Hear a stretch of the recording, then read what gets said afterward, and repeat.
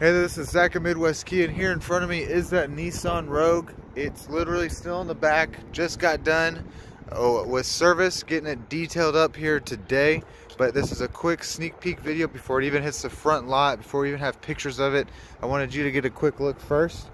Again, my name is Zach. You can reach me at 316 768 8334 or just stop on out to Midwest Kia. We're located at 8725 West Kellogg. And when you get here, just ask for Zach. Thanks. Hope to see you soon.